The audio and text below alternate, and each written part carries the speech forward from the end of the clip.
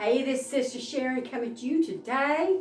I need loads and loads of prayer. I'm suffering with colitis severely. And if you don't know what it is, you can look it up on the internet. It's pain, it's severe pain, and it's rectal bleeding, cramps, and all this stuff. So anyway, God's a good God. But anyway, I was quoting the scripture. God does not give us the, power, the spirit of fear, but of power, love, and a sound mind. I went to bed hurting real bad, and I'm thinking, because you think, well, you know, this is going to be the last time you're going to die and all this stuff.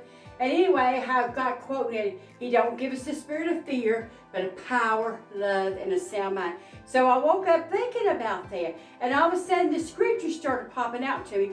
Because you know, the Bible says in Acts 1 8, after you receive the Holy Ghost, what's He going to give you? Power, hallelujah. And anyway, there's that song goes, there's power, power, wonder, working power in the blood of the Lamb. Hallelujah. So anyway, Acts, he told us that once we receive the Holy Ghost, power shall come upon you to be a witness unto him. So that's what I want to do with a lot of these devotions. And anyway, I went through the spirit of fear one time in my life.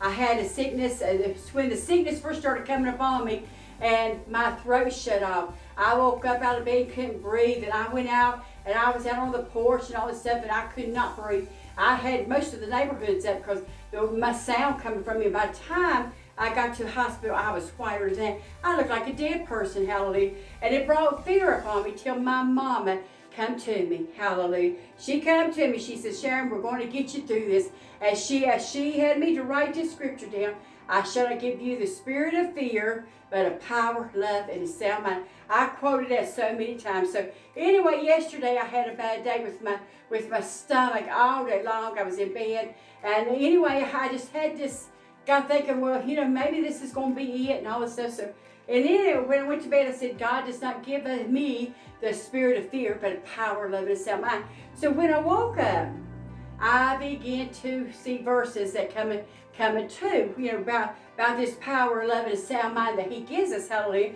And I'm in Acts 1 8, he says, once the Holy Ghost come upon you, ye shall receive power. Hallelujah. And then, like I said about the uh, whole armor of God that he gives to us, we could put that on, my, my, my. We could fight Satan with it. So anyway, fear is definitely not of God. And but it could come up on you, but you could take these words and speak to the, speak to your situation, and God will be there. God will be there for you. Hallelujah.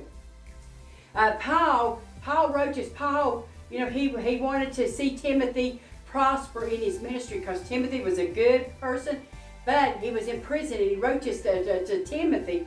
And anyway, so uh, Paul knew, Paul knew where his strength come from. The spirit, of, the spirit of power is given from God. Thus, God is the source of power. Hallelujah. Uh, Romans says the God, Romans 1.16 said the gospel is power to salvation. Hallelujah. Salvation grants us stability through protection Following courage to work the works of God. And then I want to go to love real quick. Nothing would do more to your life than to inspire courage to yourself and to your fellow man, to make men fearless of the danger and ready to endure uh, protect, uh, persecution than love. The love of the, your country, the love of your wife, the love of your children, your home, makes the most timid bold when they are self, but the love of Christ to a dying world was the greatest love that ever was. Hallelujah. The Expression of love towards us, He sent His Son to die that we might live. And the Bible talks about His Word is life to us. Hallelujah. So He loved us. We love Him because He first loved us. So that's where you get, that's where you get your love, your power, you got your love, and here well, we'll talk a little bit on sound mind.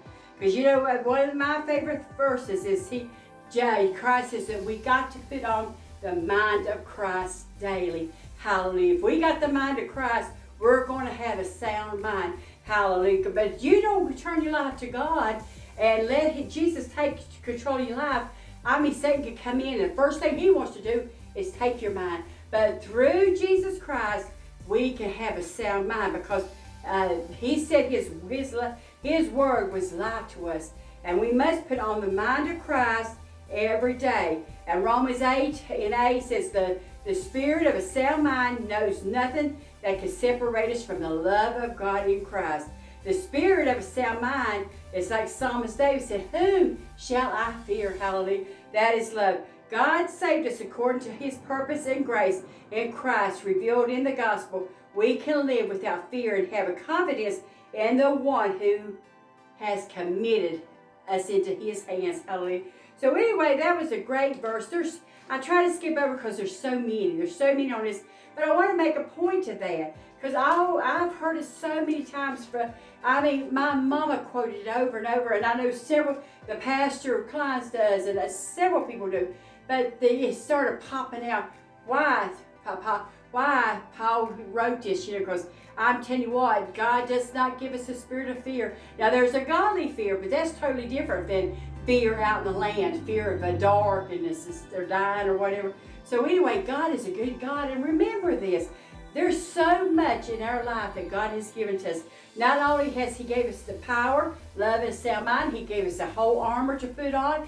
He gave us the belt of truth and all this stuff. He gave us gifts of the Spirit. He gave us fruit of the Spirit. He also gave us beatitudes to work with in our life. But once you go through this Bible, not even count what He has promised us in heaven. Hallelujah. That's like doing these devotions and stuff. The Bible says you've got to work and lay up your crowns and your work in, in heaven. This this earth don't, don't matter to us though. You know, it's what after death where we're going to live forever and ever and ever. Hallelujah. So don't you want to go there today? So live your life. Lay up treasures for heaven.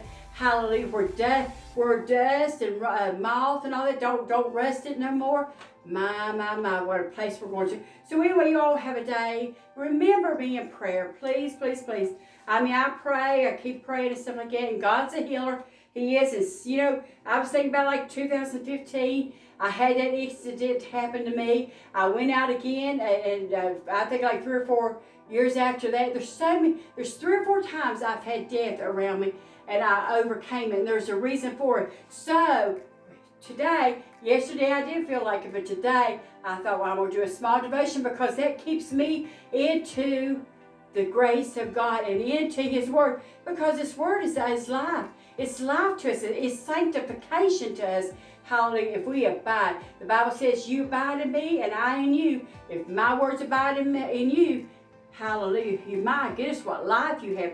So, y'all all have a blessed day. And remember, today's Tuesday and remember church day. And I pray that I get to go and stuff like that. But remember, God, God to give me strength. Hallelujah. God's a healer. He's done healed me two, three times already. And at one time, one ain't going to get one more time ain't going to matter, hallelujah. But one day, I'm not going to live forever because one day he's going to come and take me home, hallelujah. And I can't wait for that day. So you all have a blessed day and remember to smile. God loves you, and so do, so do we.